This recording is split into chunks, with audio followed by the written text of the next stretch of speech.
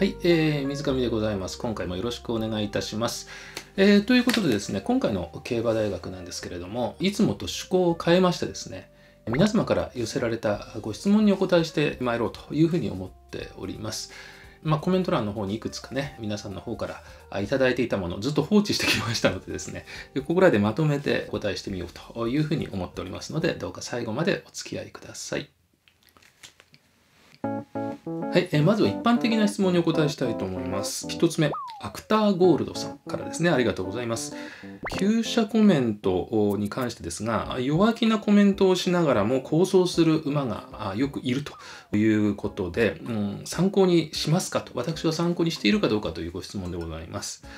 もちろん、旧車コメントは一応は読みます。読みますけれども、これね、いいことは基本的に無視します。で、不安なこと、情報的にこうネガティブなことをね言っているものを気にするようにしています。基本的に厩舎の方は自分の管理している馬に関してあまりねネガティブなことは言わないもんなんですよ。それをあえてマスコミに言うということは奔走してもおかしくないだけの、まあ、範囲として出せるだけのものがあるよということを暗にねやはり出しているんだというふうに私は思うんですよね。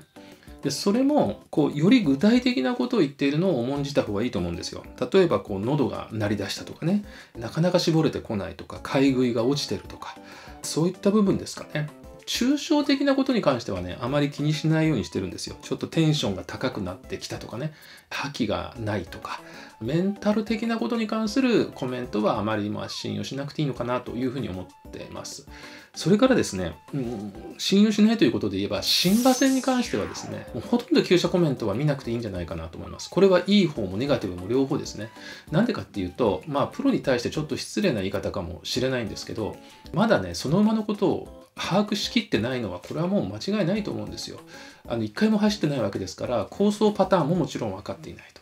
もちろんその馬の入厩してからのね観察でお気づきになってることはあるのかもしれませんけどただねそうは言ってもコバに比べれば情報量が少ないことは間違いないのである程度キャリアを積んだ馬に関してチェックするという程度にねしてます、えー、ネガティブなものに関して具体的なあことを言ってくださってるコメント。これをね拾うようにしているということでご理解ください。はい、え2つ目の質問です。えー、これは木村聡さん、えー、もしくは宋さんとお読みするんでしょうかね、えー、未勝利戦での初出走馬をどう扱いますかというご質問でございます。これはですね、新馬戦がある時に、あえて未出走馬をね、未勝利戦に使ってくるという時は、これはですね、もう本当に具合が良くて、この週にどうしても使いたいとだけども新馬戦だともう出馬ラッシュで除外があると。でもそれはもう避けたいという時に未勝利戦にま突っ込んでくるということは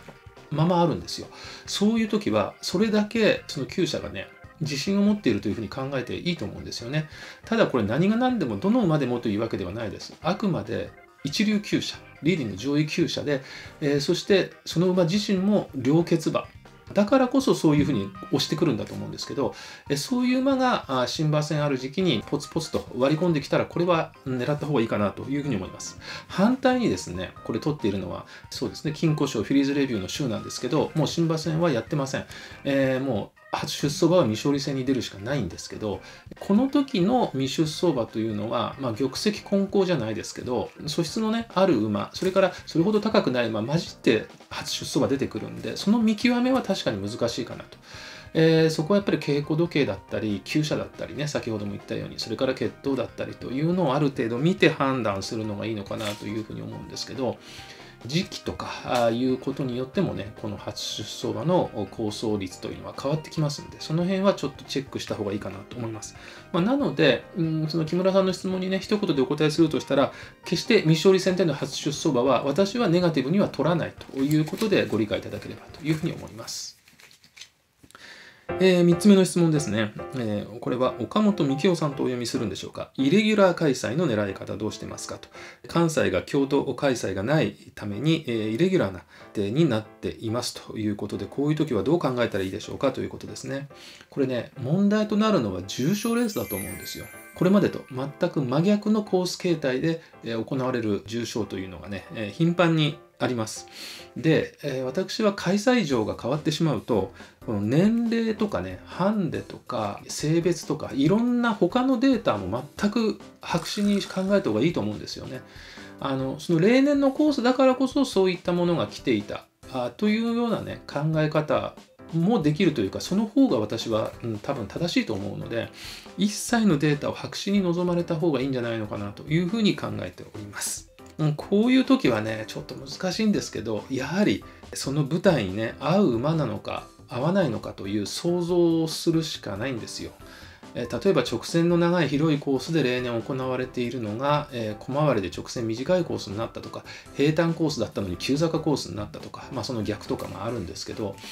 そういう時はねやはり適正判断でいくしかないのかなというふうに思います。まあ、何週かですねサンプル溜まった後だったらその開催の胴舞台にどんな馬が来ているのかどんな客室とかねどんな血統が来てるかとかっていうサンプルがちょっとは溜まりますから、まあ、それをもとに判断するという手もあるかもしれません。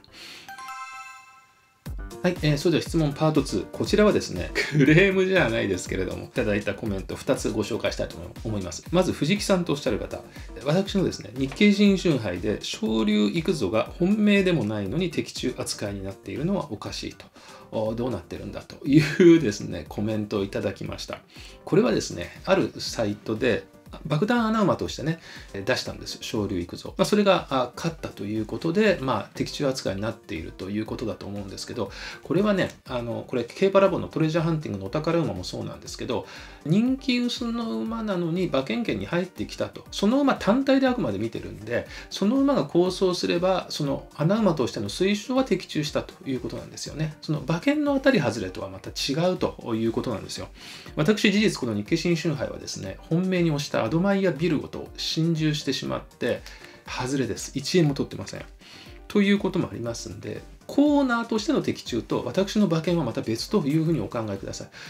まあ、私の馬券の当たり外れは皆さんに直結するものではないのでうまくねこう活用していただいてあこんな穴馬出してんだったらこれをちょっと自分の馬券でこうこういうふうにこう拾ってみようとかねいうふうにしていただけるとすごくありがたいかなと思います。えー、似たようなことでねこれクッキーさんという方ですかね。競馬ラボ決闘トレジャーハンティング、えー、本命馬が飛んでお宝馬来るの最高ですというね コメントいただきました。これはですね、ある意味非常に正しいかもしれません。本命が消えて人気薄が来るということはそれだけ大きい配当に結びつきやすいということでね、本命馬というのはあ人気どころからまあ選ぶことがとても多いですよね。そこで私の本命が、まあ、これはあんまり頼りにならないなと。ということで、ご自分の本命と私のお宝馬をうまく結びつけて、的中馬券に結びつけるということの、そういうことを考えれば、このクッキーさんのおっしゃってることというのは、非常に私はいい活用の仕方をしてくださってるんじゃないのかなというふうに思います。えー、ということでですね、まあ、競馬ラボケットトレジャーハンティング、こちらはですね、毎週金曜日の夜と土曜日の夜に更新しております。メインレースがね、対象になることがほとんどなので、えー、こちらの方で本命馬とお宝馬を1頭ずつ出しておりますので、えー、ぜひチェックしてください、え概要欄の方にリンクを貼ってあります。はい、えー、最後のパートになります、えー、ここではですね、血統に関する質問を2ついただきました。ご紹介したいと思います。1つ目はですね、遊ぶにやと書いてゆうやさん、1899、ゆうや1899さんからですね、クロスとは何ですか？というご質問です。これはですね、定義から言いますと、この馬の5代、遡って5代以内にですね、お父さん方お母さん方にそれぞれ共通の先祖が出てくる。そういう配合をしてあるのをクロスと言います。例えば金鯱賞に、出てきます。デアリングタクト。去年の3冠牝馬ですけどこれなんかお父さんエピファネイア型の母にサンデーが入ってます。で、えー、デアリングタクトのお母さんにもサンデーの血が入っています。えー、ということで、もうサンデークロスこのようにもうすぐできるということでね、で概してですね言えるのはこのクロスのメリットは仕上がりが早いとか瞬発力を強めたいスピードを強めたいパワーを強めたい、まあ、いろんな意図があって、えそういうクロスをかけてくるということになります。反対にネガティブと言いますかあマイナス点としては全部とは言いませんが気性面でちょっと難を抱える馬が出てきやすいということは挙げられると思います今はもうサンデー系の牝馬がたくさんいますんでえー、お父さん方にね、そのサンデーの血が入ってる馬なんてのも、これも、これもたくさんいますんで、すぐクロスできちゃうんですよ。あのまあ昔ほどクロスのありがたみっていうのはなくなっているようなところもあるんですけど、まあただねケースによってはすごくそのクロスが生きている馬もいますんで、まあ、その辺りはね私の予想で、えー、見解として書いていることも珍しくないのでね是非チェックしていただければというふうに思います。はい、えー、それから血統に関するもう一つのご質問、葛西クリンチャーさんですかね。血統で導き出されるポイントは何ですかということで、えー、とてもいい質問をいただきました。えー、私はですね、うん、血統っていうのは適性を見るためのものだと思っています。適性をやはり知らずして、やっぱり予想するのはなかなかこれもね、難しいことだと思うんで、その舞台、レースが向いてるかどうかという判断に用いてます。瞬発力型か持続力型かとか、え距離の適性とか、まあ、ダートの方がいいのかとか、スピードの有無とか、上がりは速い方がいいのかどうかとか、まあ、そういったことをね判断するのに血統はとても分かりやすい目安になるということですね。まあ、その意味では血統というのはちょっとね勉強していくとかなり役に立つツールじゃないかなというふうに思ってます。まあ、もちろんねその適性なり能力なりをきちんと出すための体調というのももちろん大事になってくるわけでそれは当日のパドックなりね何なりというまた別の観点があるわけですからまあ、皆さんはもちろん一つの予想法に凝り固まらずに、えー、いろんなものを取り入れながらご自分のスタイルというのをね、えー、固めていっていただければというふうに思います。はい、えー、ということで質問コーナーいかがでしたでしょうか？えー、ね、またやってみたいんで、思いついたらもういつの回でも構わないんでね、えー、コメント欄の方に書いてってください。またたまったらね、ちょっとやってみようと思ってます。えー、それから、競馬ラボ、決闘、トレジャーハンティング、えこちらもね、えー、ぜひ毎週末ご覧になってください。夜に更新されております。概要欄にリンク貼ってあります。えで、この競馬大学のチャンネル登録もぜひよろしくお願いしたいと思います。次回はですね、レース予想になるのか、何か企画考えるのか分かりませんけれども、またすぐにお会いできると思いますので、ぜひご覧になってください。今回は最後までご視聴ありがとうございました。